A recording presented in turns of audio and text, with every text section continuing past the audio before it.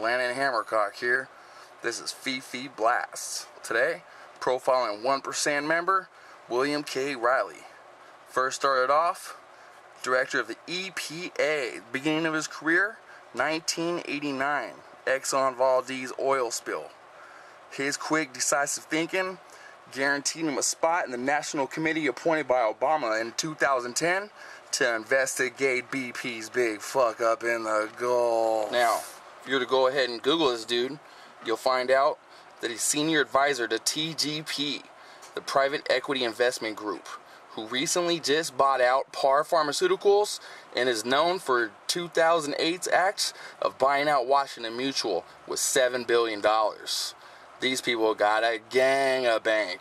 Where us 99% cash our checks from the work week, these people loan them the fucking money. Now, Par Pharmaceuticals, like I said, was just purchased by TPG.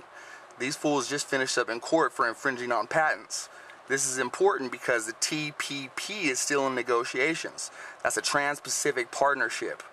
This is going to allow lines between intellectual property rights and patents to become very fucking blurry. So the textile industry as well as pharmaceutical companies are going to be making buku bucks up in the Pacific. What it really comes down to is why doesn't Congress know the details of the partnership? Why is it only CEOs of Nike, Walmart, and Pfizer got the gory details on what's going on? And just so you don't remember, this is Landen Hammercock trying to remind you know who's fucking you.